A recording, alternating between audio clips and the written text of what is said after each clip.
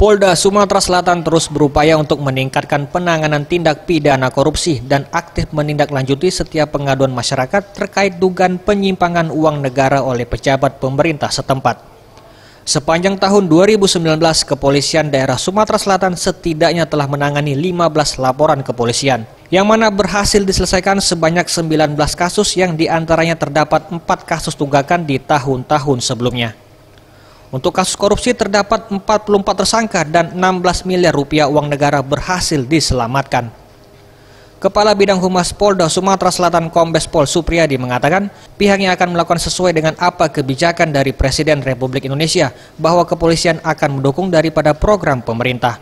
Manakala mendapati adanya indikasi penyimpangan dalam penanganan pembangunan dan pihaknya pun tak segan memberikan peringatan karena pihak kepolisian lebih mengedepankan pencegahan. Pihaknya pun berharap agar dapat saling mengingatkan antar pelaksana lapangan bila terjadi adanya indikasi korupsi untuk mencegah tindak korupsi terjadi. Prinsipnya kita akan melakukan eh, sesuai dengan kebijakan Bapak eh, Pak Presiden Pak Jokowi bahwa eh, kepolisian harus mendukung program daripada pemerintah. Jadi manakala kita mendapati adanya indikasi penyimpangan dalam penanganan apa pembangunan, kita sudah memberi warning kepada mereka. Jadi upaya pencegahan lebih dikedepankan nantinya sehingga tidak terjadi penanganan korupsi. Jadi kita berharap uh, para pelaksana lapangan nantinya uh, kita bisa saling mengingatkan. Kalau kita sudah tahu bahwa ada indikasi korupsi, sesegera mungkin sebelum terjadi korupsi kita beritahukan. Tim Liputan Sriwijaya TV